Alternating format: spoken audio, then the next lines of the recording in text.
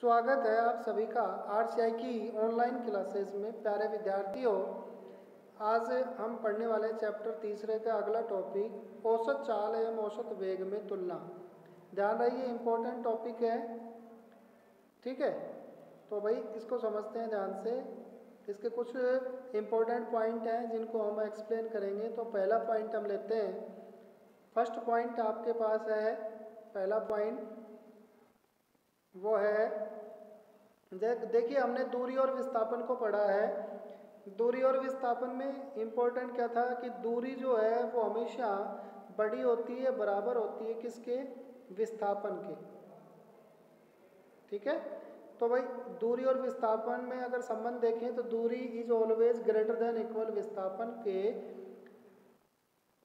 तो यहाँ क्लियर हो गया कि दूरी जो है, वो हमेशा कैसे रहेगी? धनात्मक। दूरी क्या रहेगी? धनात्मक। ठीक है? विस्थापन की बात करें तो विस्थापन क्या रहेगा? विस्थापन आपके पास रहेगा, विस्थापन धनात्मक भी हो सकता है, विस्थापन आपके पास धनात्मक भी हो सकता है, या फिर ऋणात्मक हो सकता है, या फिर शून्य हो सकता है। तो विस्थापन धनात्मक, ऋणात्मक या शून्य हो सकता है, जबकि दूरी हमेशा धनात्मक रहती है। तो इसी तरह से औसत चाल की बात करें तो औसत चाल में क्या जाएगा? औसत चाल जो है वो भी हमेशा बड़ी या फिर बराबर रहेगी किसके? औसत वेग के। भाई सीधी सी बात है।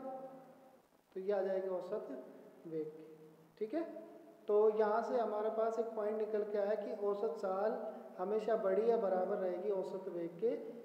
परिमाण के। ये दो डबल डंडा लगाए परिमाण है। जैसे विस्थापन धनात्मक, ऋणात्मक शून्य हो सकता है, वैसे ही औसत वेग धनात्मक, ऋणात्मक और शून्य हो सकता है। ठीक है ना? तो भाई इसको समझते हैं। तो इसका मतलब ये हो गया कि जो आपके पास औसत वेग है, वो धनात्मक, ऋणात्मक, शून्य हो सकता है, औसत चाल के जो है, उस औसत चाल का जो मान है, वो हमेशा क्या रहेगा? धनात्मक रहेगा। ठीक है? तो इसका अगर अपन अगला पॉइंट देखें तो दूसरा जो पॉइंट आएगा, वो दूसरा पॉइंट भी इसी तरह से आएगा।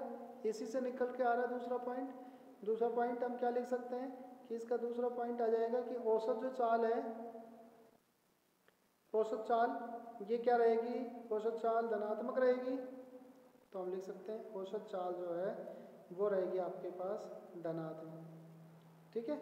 औसत चाल धनात्मक रहेगी, लेकिन जो औसत वेग है औसत वेग आपका रहेगा, या तो धनात्मक, या फिर ऋणात्मक, या फिर शून्य।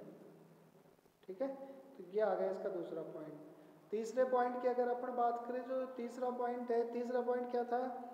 कि तीसरा पॉइंट अगर अपन समझे तो थोड़ा सा मैं एक पथ बनाता हूँ। मान लीजिए ए बिंदु है, ए से कोई बी पॉइंट लिया तो ए से बी तक कोई व्यक्ति गया और वापस ए पर आ गया। ठीक है? घूम कर वापस कहाँ आ गया? ए पर आ गया। तो यानी कि वस्तु जहाँ से चलना प्रारंभ करती है, वापस वहीं आ जाती है तो उस कंडीशन में जो दूरी है, वो दूरी का मान तो कोई ना कोई प्राप्त होगा हमें, लेकिन विस्थापन इस कंडीशन में क्या होगा? विस्थापन शून्य हो जाएगा। और विस्थापन जी शून्य हो जाएगा, ज़ीरो हो जाएगा तो इस कंडीशन में औसत जो वेग है, औसत वेग आपके पास क्या आएगा? औसत वेग आएगा आपके पास ज़ीरो। बोलो, नहीं क्या? औसत वेग शून्य हो जाएगा, क्योंकि वस्तु जहाँ से चल रही है, वहीं से पुनः वापस आ रही है।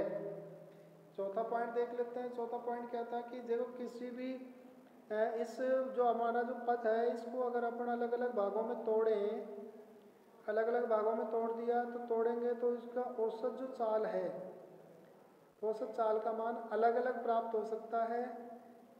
ठीक है? या एक से ज़्यादा प्राप्त हो सकता है अलग अलग का मतलब एक से ज़्यादा प्राप्त हो सकता है, लेकिन औसत जो वेग है, औसत वेग का मान हमेशा एक ही रहता है।